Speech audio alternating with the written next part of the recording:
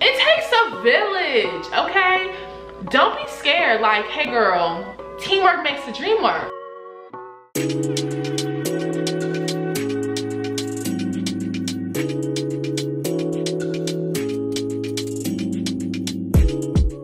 What's up you all? It's your girl Shayna Gabrielle and I am back again with another video. As you can tell by the title, this video is gonna be a little bit different. I'm gonna be sharing with you all my tips and tricks with creating a YouTube channel. If you haven't already, make sure you hit that like, comment, and subscribe button down below. And don't forget to put on your push notifications so you can get alerts every time I drop a new video. Now, I know you're like, girl, you do not have a thousand bajillion followers, so how can you talk about how to start a YouTube, what you should do? Because I only got like 500 followers. But I am a really good um, self-taught editor and everybody talks about creating a YouTube channel, but they'll make the channel, but then don't post anything. If you are really you know, interested in creating a YouTube channel, I completely support. I say go for it.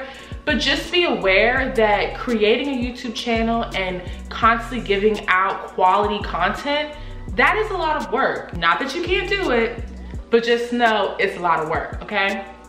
Second, consistency is key. I am speaking for myself I am starting to get better at posting. Well, not I'm starting. I am better at posting, okay?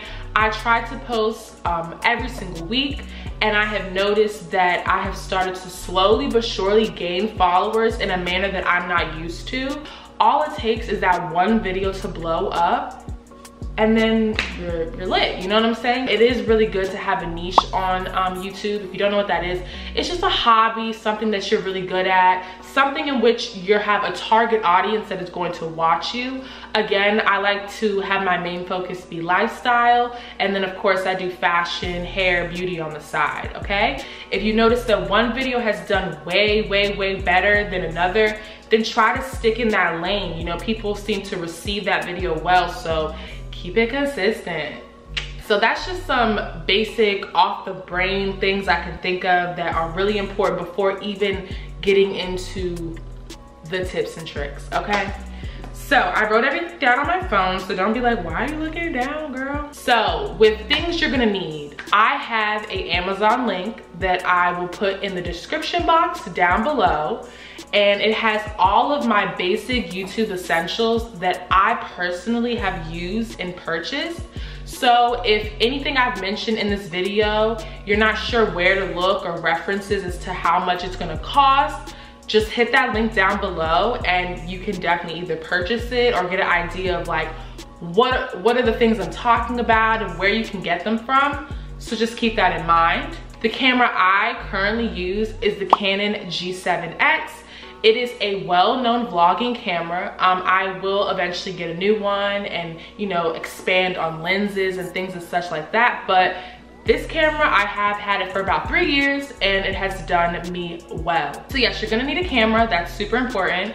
Um, also, you're gonna need SD cards. If you don't know what an SD card is, I'll show you. Okay, so this is an SD card. This is what it looks like.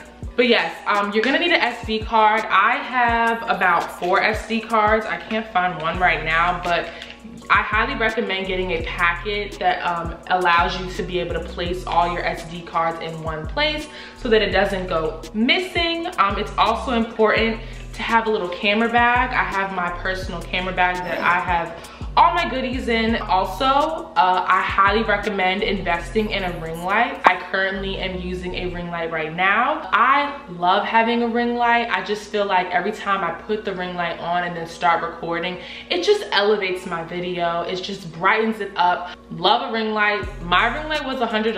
I've had it for about two and a half years. It is a really good investment for having a YouTube channel for sure, okay? Point blank period. And the ring light that I got, it came with a attachable like holder for the camera. So it allows you to put the camera on the ring light so that just like, it just does something to the video, okay? You don't have to have a ring light because you know, I've seen people, they just use the natural sunlight, but that just gets a bit challenging when the sun starts to move or sun starts to set.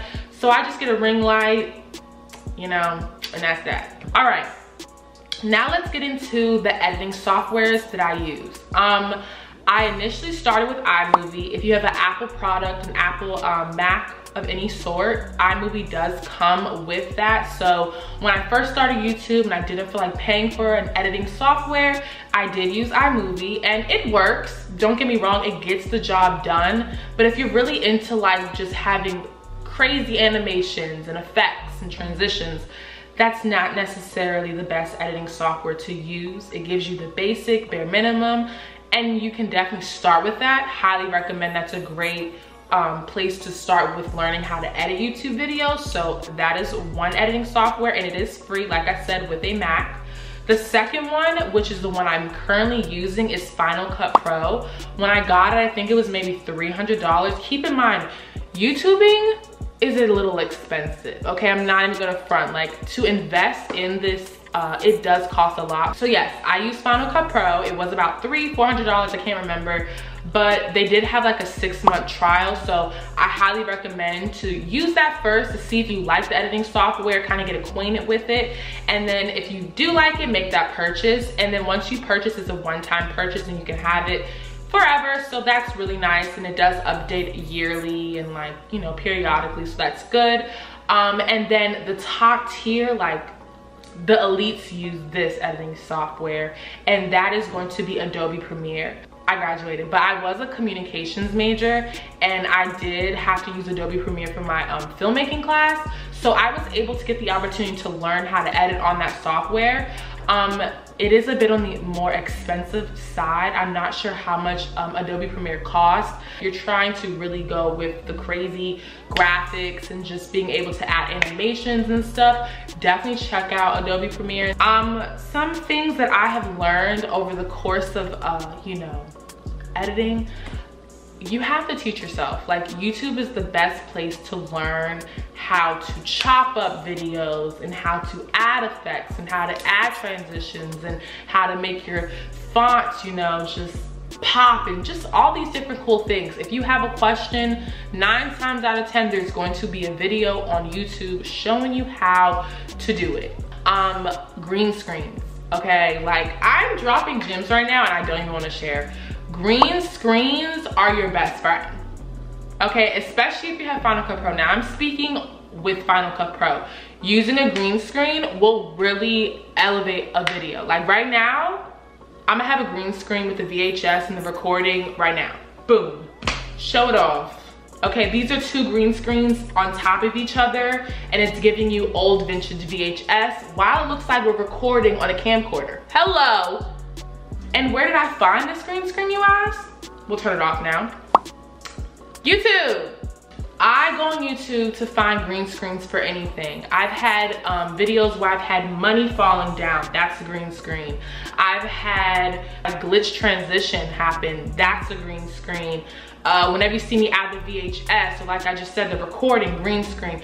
There are green screens for anything. I've had rain coming down, green screen. Like a green screen basically is gonna be a video where it's obviously a green screen and then it's just got whatever effect or illusion or object on the uh, actual video playing or animating or whatever.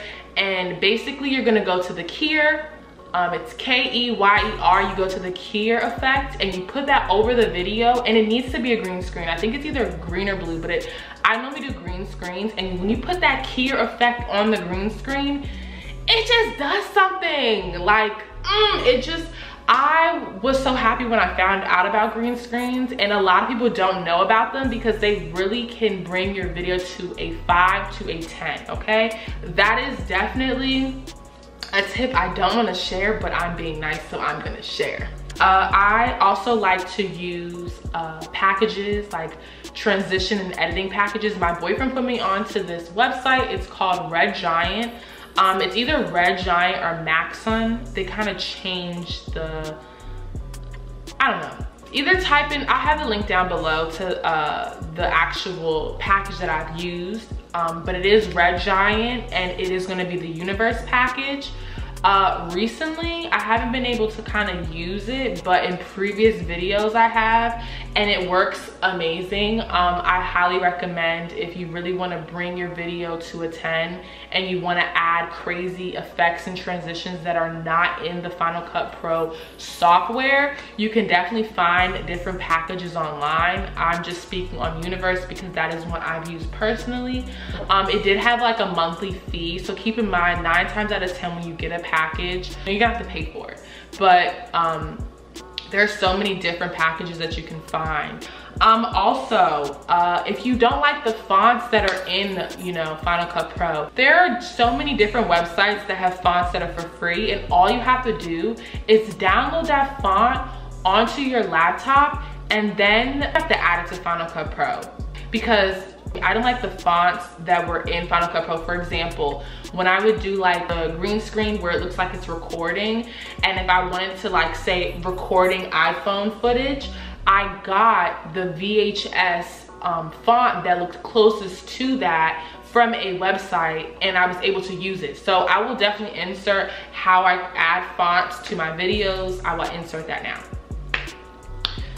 Um, so yeah, fonts are definitely a major thing uh, to be able to elevate. Uh, there are different ways you can uh, change the color on your fonts. I love adding outlines ar uh, around my fonts, so that's something I do.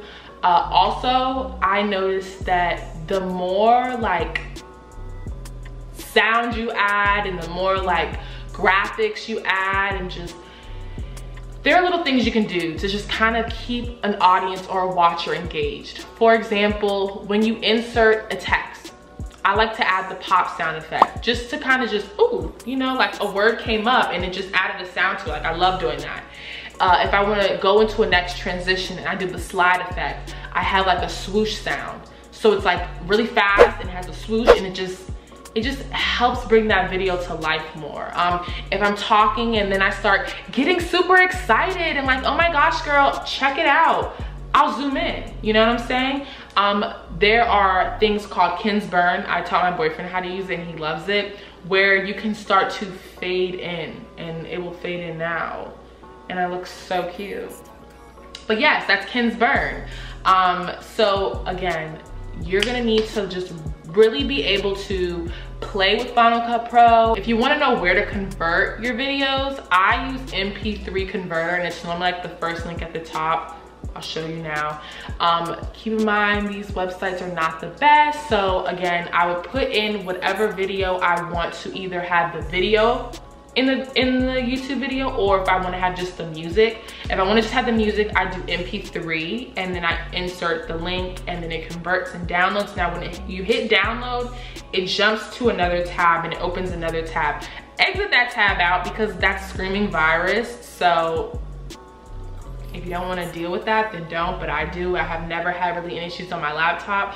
So just keep in mind, but I also love that website because I'm able to go to the MP4 section, put in a link for a video I want to have in my actual YouTube video. And let me just tell y'all, I love it.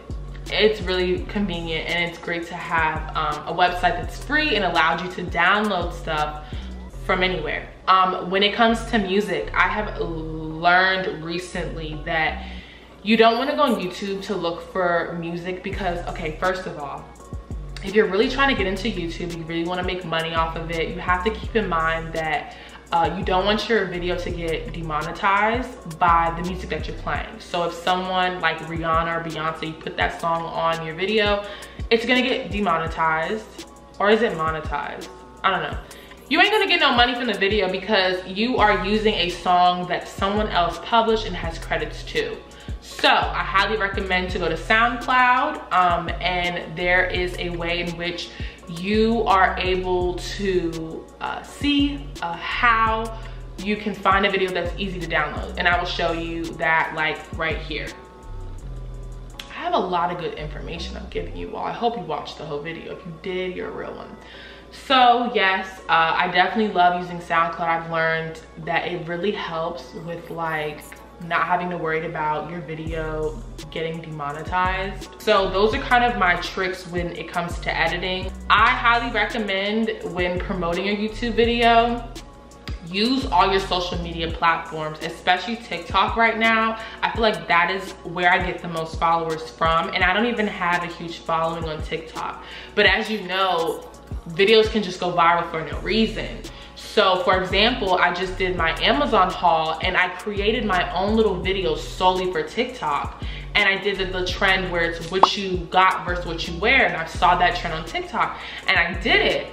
And if you had your YouTube already linked on your TikTok and that joint just starts to do numbers and someone goes to your page, like they're going straight to your YouTube. Like, and nine times out of 10, if they're seeing videos like every week, they're gonna wanna subscribe. So just keep in mind using all your social media platforms. My friend Melvin put me on to using Reels on Instagram and my first Reel I did had like 3,000 um, views. So I definitely recommend uh, using these platforms that are not just YouTube. And then if you feel comfortable, ask your friends to shout you out. Like, it takes a village, okay?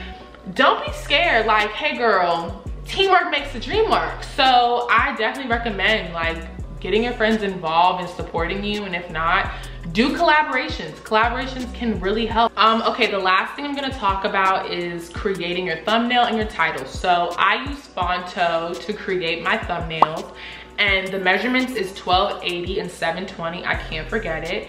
But I love Phonto, it's on my phone and it really helps with uh, knowing exactly the size it needs to be for the thumbnail. It allows you to add uh, text it allows you to add uh, photos. And like I said, with, you know, adding additional text that are already, that are not on the particular app, you can do that with Phonto as well, which is really dope. So I have my own section of my personal fonts that I took the time to download.